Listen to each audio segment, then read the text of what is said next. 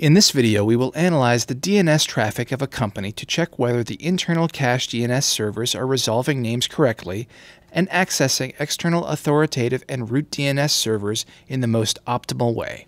To do this, we will use a cross-search Sankey diagram to do a visual correlation with two different queries. The best way to get a detailed overview of DNS traffic is to watch events generated by DNS servers in the resolved consults log. It's also possible to evaluate traffic detected by firewalls on port 53. For this example, we will use logs from several test firewalls we are monitoring in Devo. Now let's log into the web application, and then we will open the firewall.all.traffic table. This is a union of several firewall tables.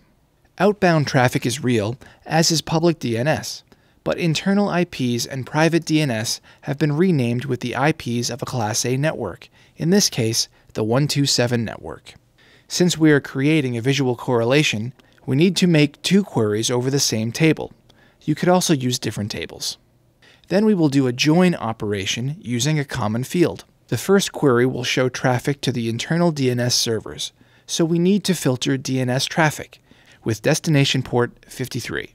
This can be done using the UDP protocol. However, DNS traffic sometimes uses the TCP protocol, for example, when it is necessary to use EDNS. We can also filter to see private IPs.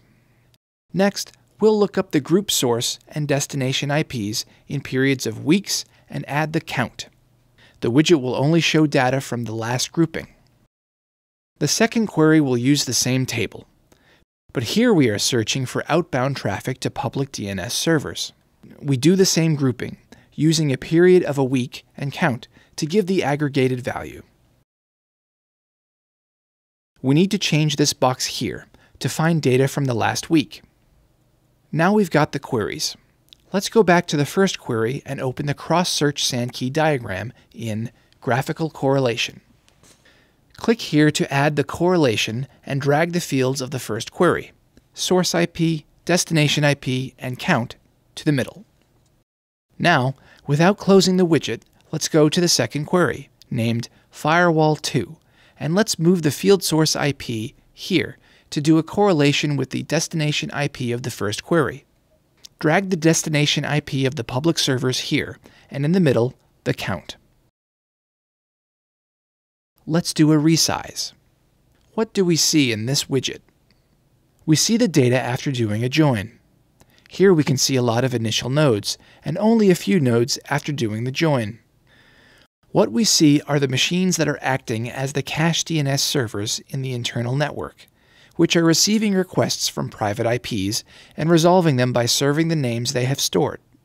At the same time, these servers also throw requests to other external servers, authoritative or root DNS servers, to look for names they can't resolve. When a request comes into a DNS cache server and the name can't be resolved, it makes a sweep, throwing requests to authoritative DNS servers.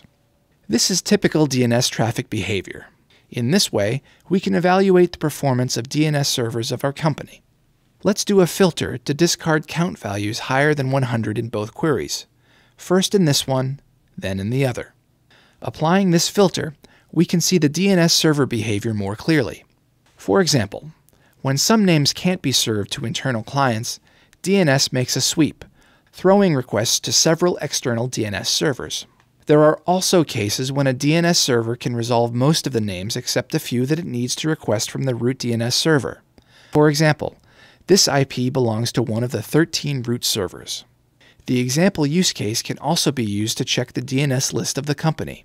In the middle diagram, we can see the internal DNS servers, and on the right side, we can evaluate performance by comparing the number of requests to the authoritative and root servers. We can extract more detail by filtering each DNS server, 127.87.1.35 for instance, and also by changing the grouping period. Thank you for watching this Devo video, and be sure to check out the rest of our exciting videos.